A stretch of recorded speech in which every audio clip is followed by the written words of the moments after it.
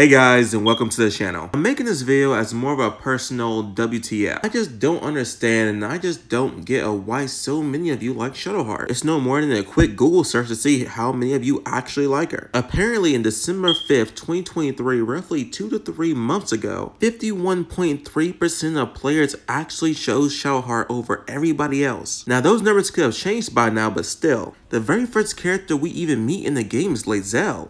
You see that epic cool flip with the dragon in the background? That shit is amazing. The moment she figured out you're not a thrall, she instantly Together, gets on your side. We might so why does so many people dislike Lae'zel when she's one of the first characters we actually see? She even opens up the game. Well, apparently Lae'zel's personality is just too much for players to take. So what, now having too much personality is a bad thing? I just don't understand. I get it. She has an attitude and she's a little bit of a bee. But it's only really in the beginning. Really, she's actually one of the most honest characters of your group. But where do I start? Astarion in one of his first nights when your sleep tries to drink your blood without permission. Gale's a living bomb and doesn't tell you until you already invest a bag full of magic magical items to give him. Bull has a literal devil on his back that's literally watching you guys consistently. Yeah, he couldn't really tell you because of the deal, but you would have to believe that even without the deal that he would actually tell you. Which leads to my final case, Shadowheart. Shadowheart has been lying to you from the very start, saying that this relic is really nothing, but really she stole it from the Githyankis. The same Githyankis that have magical dragons and armies. The same Githyankis that will kill you for less and definitely will kill you if you steal from them. If it wasn't for the fact that the artifact is keeping you alive, Shadowheart will be a little less than a thief. At least Carl tell you that she came from the hells and she fought in the blood wars and her infernal engines on the verge of destroying herself. The most emotion I ever seen uh, out of Shadowheart was at the very beginning when you save her. After that, she's cold and lying to you most of the time and keeping secrets. So I ask you this, what part of lying to you most of the time is actually healthy? What point in keeping secrets most of the time is actually healthy? Even when she's pressed about the artifact by Lae'zel, she still chooses to lie rather than just tell the truth. She'd rather fight Lae'zel than admit that she actually stole something from her people for Shar.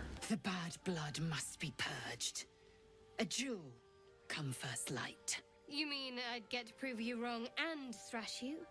If it only went that way. Shahar agrees to a duel in the morning just to betray Lae'zel in her sleep. She was actually planning on assassinating Lae'zel in her sleep. She'd rather kill Lae'zel in her sleep rather than tell the truth. And this was after she agreed to the duel in the morning. She even has a cover story to cover up her killing Lae'zel. If you choose to do nothing, she will actually succeed in her assassination. After the secrets, after lying, and this is what it comes down to her actually killing a member of your crew. This wasn't just dishonorable, this was just straight betrayal. I don't know about you guys, but I wouldn't feel comfortable with sleeping next to Shadowheart knowing she tried to assassinate somebody. I'm aware that she was most likely being manipulated by Shahar, but most of you chose Shahar without even knowing that. If it were me, if I knew my girl had tried to kill someone in their sleep after promising they'll see them in the morning, I'd have myself packed that night. But that's it for this video. I hope you guys liked and enjoyed it. Please like and subscribe, and I'll catch you guys later. Bye-bye. Also, comment what you guys think. I'm really hoping to read some of you guys' comments. See ya.